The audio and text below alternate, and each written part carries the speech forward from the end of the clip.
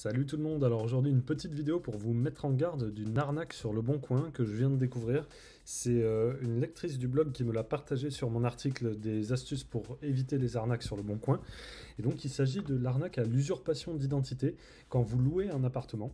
En fait, euh, il ne faut jamais envoyer vos documents, donc votre, carte d'identité, vos fiches de paye, vos avis d'imposition, il ne faut pas les envoyer euh, tant que vous n'avez pas visité l'appartement et tant que vous n'avez pas vu le propriétaire. Parce que ce qui se passe, c'est qu'il y a des escrocs qui vont poster des fausses annonces, ils n'ont aucun appartement à vous louer, et en fait, ils vous demandent les documents, vous, leur envoyez par email, ensuite vous n'entendez plus jamais parler d'eux parce qu'ils n'ont pas d'appartement à louer, et ce qu'ils font, c'est qu'ils utilisent votre pièce d'identité et vos justificatifs pour ouvrir un compte à votre nom. Et alors, une fois qu'on a votre pièce d'identité, c'est facile, hein, euh, il suffit d'avoir une facture quelconque, une facture EDF, n'importe quoi, le gars il a falsifie et ensuite c'est fini.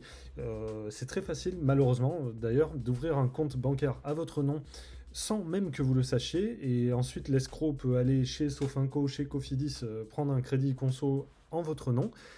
Et en fait, vous le saurez jamais, vous le saurez que au moment où, il sera beaucoup trop tard, euh, que au moment où les, les, organismes de recouvrement seront là pour vous réclamer l'argent. Donc, ce qui se passe, c'est que premièrement, je vous conseille pour éviter cette arnaque de ne jamais donner vos documents personnels à, quelqu'un sur le bon coin tant que vous n'avez pas vu la personne. Deuxièmement, il vaut mieux aussi visiter l'appartement en question. Et euh, troisièmement, si vous avez donné les documents, c'est pas bien grave. Alors, le mieux, c'est encore de passer par une agence, euh, mais bon, ça coûte cher hein, si vous pouvez pas vous le permettre.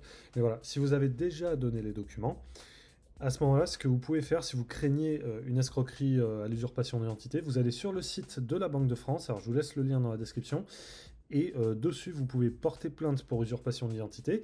Et ensuite, cette plainte-là, il faut la transférer à votre banque ou à vos banques si vous en avez plusieurs, ou tout organisme bancaire auprès duquel vous avez un compte pour qu'il soit au courant, pour qu'il le sache. Si jamais vous recevez une, lettre quelconque d'un organisme de crédit ou alors d'un organisme de recouvrement qui vous réclame de l'argent, vous leur renvoyez ça, vous leur dites non, non, non, moi je, me suis fait usurper mon, identité et euh, voilà, j'ai porté plainte contre ça. Voilà, donc j'espère que euh, j'espère vous avoir mis en garde, que cette astuce vous aura plu. Faites très attention sur Bon Coin. Je vous mets aussi le lien dans la description vers mon article sur les 22 arnaques à euh, éviter sur le Bon Coin, les, arnaques les plus courantes.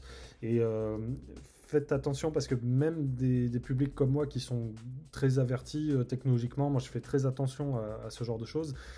Il y a des arnaques où, vraiment on peut se faire avoir. Donc voilà, faites attention, faites tourner la vidéo et si vous avez d'autres suggestions, n'hésitez pas à les mettre dans les commentaires ci-dessous. Et moi je vous retrouve très bientôt. Salut